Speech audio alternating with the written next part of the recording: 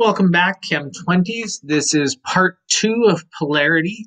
Um, what I want to do here is take a look at some examples of those type of compounds that are always polar and those types of compounds that are always nonpolar. On the left-hand side of your screen, you will see that we have four types. Those do not have to be memorized. What I'm going to use these for is to pull each of those four examples onto the page, draw it for you, um, show you how come it is polar, and how these individual bond dipoles actually can add together so we can see that there is some polarity. So I'm going to start with the first example. We've done this one already, HCl. Um, I want to add the bond dipoles. Therefore, I'm going to look up the electronegativity values. The difference for this is I'm not going to write them down. So you have your periodic table. You could certainly draw all four of these right now, pause the video, write down the electronegativity values, add in your dipole arrows or your momentary dipole arrows, and make a decision on what where you think these arrows are going. So I'm going to do the first one. Again, we know hydrogen is 2.02. We know chloride or chlorine is 3.2, so it's larger. So we're going to come along. I'm going to draw my bond dipole. Need my pen first. I'm going to draw my bond dipole going here. So since it adds together, there's no cancellation. I know for sure HCl is a polar molecule. One side has a higher affinity for the negative electrons than the other. There's a net bond dipole, therefore, for sure it is polar. Okay, example number two, and we're going to have to unfortunately keep doing this where we jump back and forth between the two. Um, I'm going to look at NH3. First, I'm going to look at it as a structural diagram so we can see how this works. But then I want us, as we get better at this, to really start thinking about these in three-dimensional shapes. So I'm going to grab my pen. Again, I'm going to look up these values.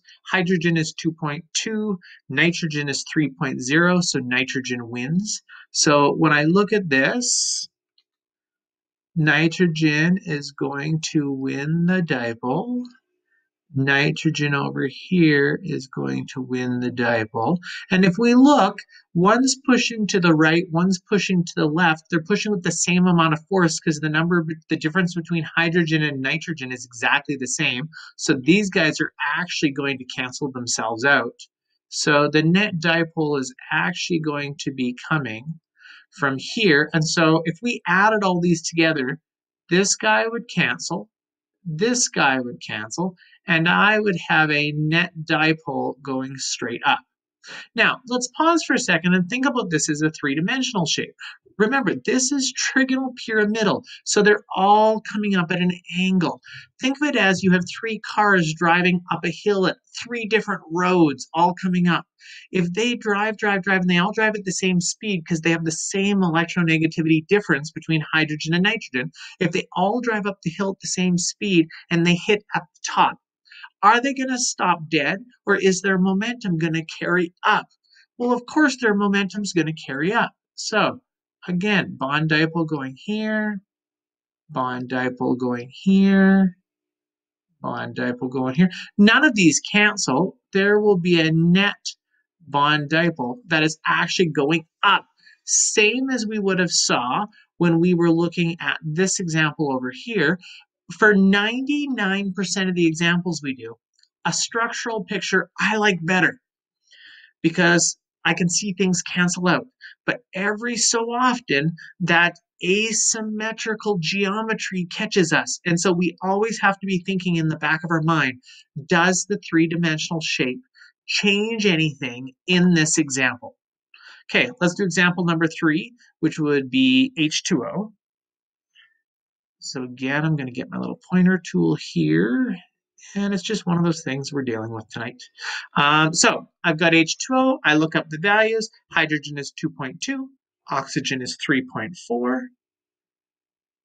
So oxygen is pulling harder as we go up. And oxygen is pulling harder as we go up. Notice, water is not linear. Therefore, again, think of this as like a street light and both these guys have stop signs. If the cars don't pay attention and they both drive in the direction of oxygen and they miss their stop signs, are they, when they make contact, going to stop or is their momentum going to carry them? And again, I would say that these bond dipoles don't cancel out. I would say that they have an energy dipole that adds up together this bond dipole that goes in that direction. Therefore, it hits the criteria unequal sharing. This is again going to be polar. Now we have our last one to prove polarity, and that is the example of CHCl3. So I'm going to open it up. Again, three-dimensional shape, but it's really hard for us to imagine this, especially because we don't have model kits at our houses. So I'm going to do this with um, my pen again, and I'm going to draw on my bond dipoles. And so hydrogen is 2.2, carbon is 2.6, so carbon wins. Carbon is, of course, 2.6, we just said. Chlorine is 3.2, so chlorine is going to win this time three times. Now, when I look at this, one is going up, one is going down.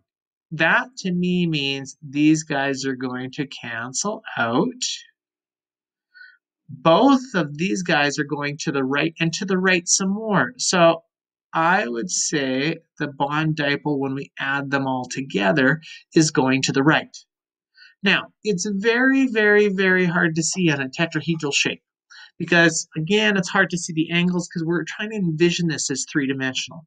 But again, if we drew this in, hydrogen is going towards the carbon. Carbon is going towards all three chlorines. Again, these cars are pulling in three different spots. They're not going to stop. This energy is going straight through here, through the middle of the chlorines, pretty much as they were the middle of the chlorines over here. These are four very different examples if you look at the types on the side, but they all are polar molecules because when you add them together, they have a bond dipole. They don't cancel out. This is really important for us to understand that in a lot of cases, we, we can draw these and figure these out, in all honesty, quite easily. Now, we've been looking at polar molecules. What I would like us to do is let's look at nonpolar molecules. Now, nonpolar molecules, there's less examples. There's We only have two types over here on the side, and one of them is really, really easy. And I'm assuming you could probably think of what type this would be. And so if I take a look at this, ClCl, chlorine has an electronegativity of 3.2, and another chlorine has an electronegativity of 3.2. Well, who's going to pull harder? They're both the same. This is like having two people pulling and they both pull with the same force. This is not polar. What this ends up being is nonpolar, and it's going to look like this an equal sharing of the bond. This is what all the bonds in the model kit looks like. And we said earlier, the bonds in the model kit aren't always right. They're right when it's a nonpolar example because it's equal sharing, but they're not right every example that we've done that is a polar example. Now, let's do one more example. So I would like to look at HCl. We're going to look at methane. Again, we're going to look up the values. Hydrogen is 2.2, carbon is 2.6, so carbon is going to win. So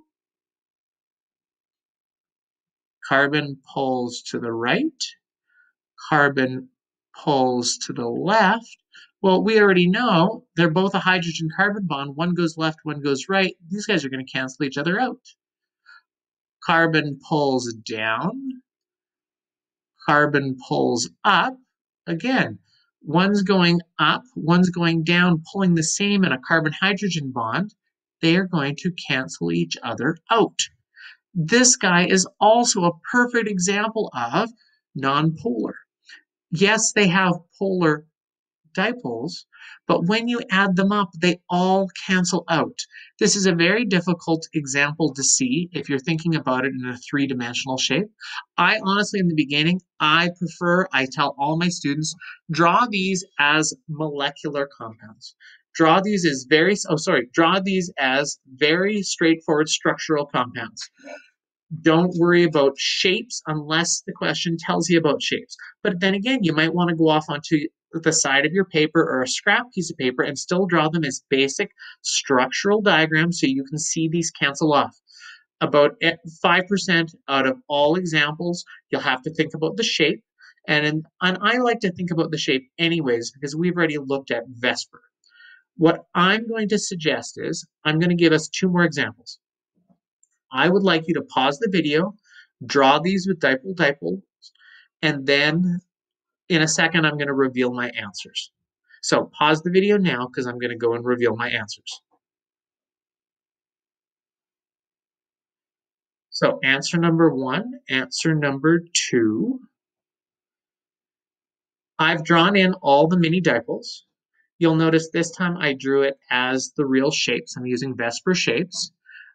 Ideally, if we look in our first example on our left over here, we will see that these the hydrogens are all going towards the carbon. Carbon is going towards the oxygen. Hydrogen is going towards the oxygen. None of these cancel out. Ideally, we look like we have a, and I'm going to put it in here, bond dipole pretty well going in that direction. Because there's a bond dipole, we're going to call this polar. On the second example, or on, on our last example, we will see that between the oxygen and oxygen bond, there is no dipole. But between the oxygen hydrogen, there is a dipole. One is going down to the right, one is going up to the left. These guys will actually cancel each other out. We would call this non-polar molecule. Hope you understand the difference between polar and non-polar. And remember, you can watch these videos at any time you'd like.